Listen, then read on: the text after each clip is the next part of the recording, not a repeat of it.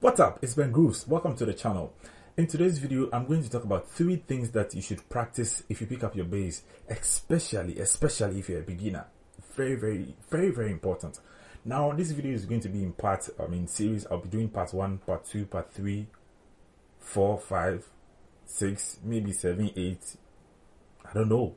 But today I'm focusing on three things. The first thing I'd like to talk about is tone. When you pick up your bass, you don't know what to practice. Practice tone. How do you practice tone? Tone is basically how you sound. Now, how can you sound good if you don't know how you sound? You need to know how you sound before you're able to tell, okay, I, I need to develop this tone. I need to improve on how I sound. So, how do you know how you sound? It's by listening to yourself. It's very, very important. Like, it's so much important. When I started bass playing, I I didn't like hearing myself. I don't know why. For some reason, I just I don't know. I just didn't like hearing myself. But I was making a big mistake. You have to know how you sound. That is the only way you can improve upon the sound or your tone. is very important. Now, you don't need um, a DAW. I mean, any recording software. You can just use your smartphone, put it just close to your amp, play, and then hear yourself. Now, tone is in two parts, or I mean, two ways basically for me. You need to know your instrument. You need to know your instrument. It's very, very important. You need to know where your EQs are. You need to know your balance, your volume, your bass. You need to know your trebles. You need to know all these things. And it has to be experimental. It's very important. It has to be experimental. You pick up the bass, play a particular note. You play something, and then whilst you are playing it, you are trying to adjust the controls, the knobs, until you arrived at your desired, I mean, sound or something. So you need to know your instrument. You need to know where your balance is, where your EQs are. You need to know what this knob does. It's very important. it's very important. Some of you, you just pick up the bass, you open volume, and you are done. No, you have to experiment it. Pick up the bass, sit down, open, let everything be at maybe 12 o'clock, or maybe just kill everything then just open everything bit by bit. When you open one knob, play the bass, and you have to be deliberate about it. Intentionally listen to the sound. When you play something and then you open the first knob, listen to how it sounds. When you play the second one, listen to how it sounds. When you play the third one, listen to how it sounds. You have to tweak, you have to be your own sound engineer when it comes to your instrument. You tweak the volumes, the knobs until you arrive at maybe what you want to hear. I cannot decide for you how you want to sound. That is one thing I cannot do for you. You, you know that we all know the difference between black and white. So you know how you want to sound. So when you do all that on your bass and then you you, you, you, you are okay with the sound, you are very satisfied, you know, oh, this sounds good, mm, I like it. Then you come to your fingers, the left and right. They help in your tone a lot because if um you you have everything on your bass here and then your your dexterity is not good. You, your, your, your left hand cannot control the strings, the board. Your right hand cannot control. It's going to, it will not amount to anything. So you need to have a good balance between the EQs on your bass, your right hand, and your left hand. So you have to record yourself, listen to yourself, and you be your own judge.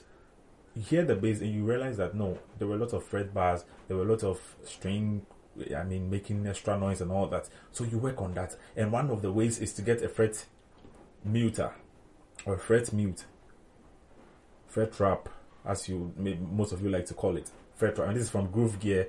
Amazing company doing great stuff. Gruv Gear is one of the best companies when it comes to um, um, accessories for musicians. They are doing amazing job. Shout out to Gruv Gear. Yeah, so they have these fret traps. You can get one of these amazing fret trap and it will clear all the fret noise and other string bars and everything. Yeah, it's, it's, it's very, very important. So, yeah, you need to hear yourself. It's so much important. You need to hear yourself and know that, okay, this is how I sound. I am okay with it. I don't like it. Then you can do something about it. So, practicing tone is a whole thing we need to consider. It's very important. So, like I said, you have to experiment all your controls on your bass the first thing is knowing your instrument. Don't forget that the first thing is knowing your instrument. You need to know the instrument. You need to know what each and every knobs a knob here does. It's very important. You, you have to know it. Unless of course you, you don't want to. but I believe you want to. So you have to know what every knob does. And like I said, you have to experiment. You play a note. Did you hear that? There's a change. Listen. There's a change. I'm sure you, you can hear that. So I know what every knob does on my bass. So you have to know that as well. Uh-huh. Then you now develop your right hand. If your you know your your your left hand has to be very strong. Your left hand has to be strong. That's why there are lots of exercises for building dexterity and your your, your fingers. You can't play a, um, a note and hear. That's with with the fret trap. You, you hear that there, there was no any bars. Now let me take away the fret trap.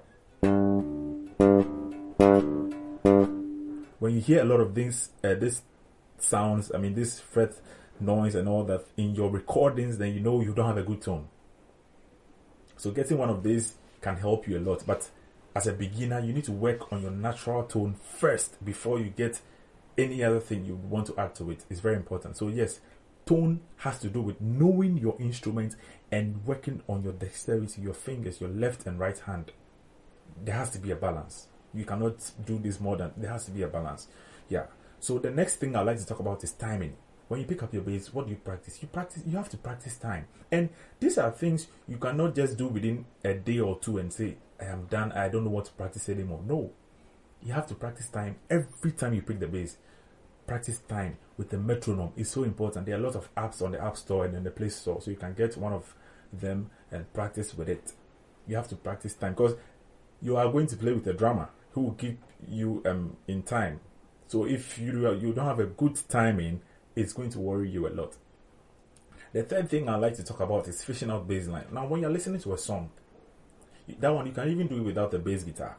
When you're listening to any song on your phone, just pay much attention to the bass. Of course, if you're a bass player, if you're a keyboard player, pay a lot of attention to the keyboard. I'm a bass player, so I'm talking about bass.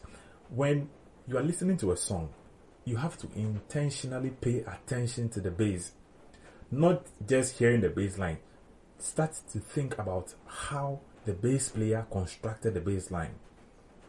Okay, he played this and this, this and that. Try to just imagine him, you know, doing what he's doing in your head. It's very important. So you practice, you get used to all these things, and it will help you be a very good bass player. Trust me. So you need to have a good tone. You need to practice timing and try to fish out bass lines. Even if you're at work or maybe you're at school, just anytime you're listening to music, just give much attention to the bass line.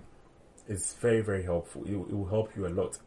Like I said, some of these things, when you're doing it, you might not see improvement on the go, but as time goes on, there will be improvement. Yeah, so practice tone, practice timing, and try to fish out bass lines from songs. So that will be all for today. I mean, like I said, this particular video, what to practice, this is the first episode. I'll be doing another one another one, another one, another one.